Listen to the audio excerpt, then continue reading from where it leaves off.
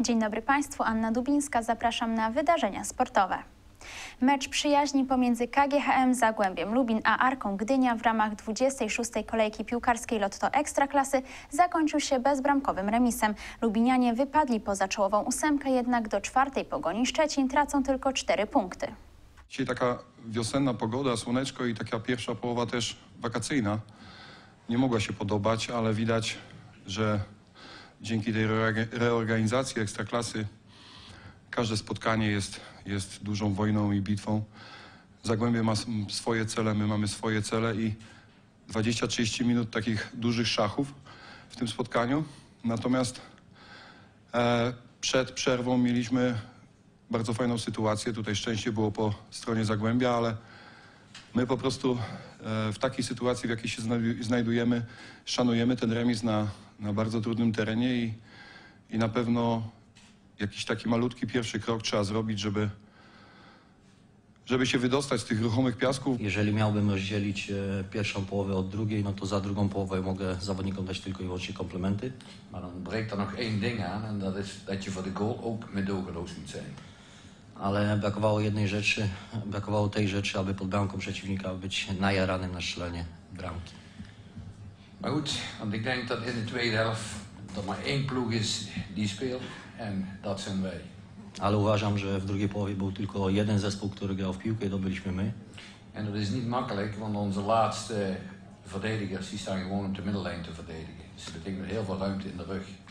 Ale to nie było łatwe, dlatego, bo nasza ostatnia formacja obronna była ustawiona na linii środkowej boiska, więc to jest e, też niebezpieczne, bo było dużo miejsca za plecami tej formacji. Na zapleczu Ekstraklasy po bardzo widowiskowym meczu Chrobry Głogów zainkasował kolejny komplet punktów. Głogowianie wygrali na wyjeździe z Chojniczanką Chojnice 2 do 1, a bramkę dającą zwycięstwo zdobył już w 90 minucie kapitan pomarańczowo-czarnych Michał Michalec. Myślę, że to był niezły, żywy mecz. Każdy miał swoje sytuacje. Yy, Wynik był sprawą otwartą. Ja na pewno jestem bardzo zadowolony z wyniku i z trzech punktów, bo tych punktów mamy mało. Zacznę od gratulacji dla drużyny, która włożyła dzisiaj mnóstwo zdrowia. Mieliśmy swoje problemy zdrowotne i, i dzisiaj zawodnicy wiedzieli o co gramy. Wygraliśmy z silną drużyną, która naprawdę yy, jest jedną z najlepszych w tej yy, lidze. przeprosić naszych kibiców, że przegrywamy kolejny mecz z rzędu. Trochę słabo wyszliśmy w to spotkanie, ale po jakby lepszym początku e, chrobrego udało nam się e, trochę tą rywalizację w pierwszej połowie wyrównać. W sumie mieliśmy idealną sytuację, bo wynik mógł otworzyć Damian Piotrowski. E, niestety przestrzelił. Mm, Pierwsza połowa mimo wszystko, mimo tego, że nie do końca ta gra wyglądała tak, jakbym chciał, skończyła się 1-1. Na drugą połowę wyszliśmy. Gra wyglądała już zgoła inaczej. Można powiedzieć, że tak bym chciał, żeby w większości, tak jak wyglądała gra momentami, zespół grał i funkcjonował, ale niestety nie strzeliśmy bramki. Mogliśmy strzelić nie jedną, nie strzeliśmy żadnej. Eee, I to boli. W 23. kolejce PGNiG Superligi Piłkarzy Ręcznych Chrobry Głogów udał się na mecz do trzeciej drużyny rozgrywek. W Zabrzu lepszy okazał się miejscowy Górnik, który pokonał osłabioną głogowską ekipę 29 do 24. Pomimo porażki Chrobry jest bardzo blisko udziału w fazie play-off. W pierwszej połowie, Galia nas zamurował, kilka nierzuconych sytuacji e, sam na sam.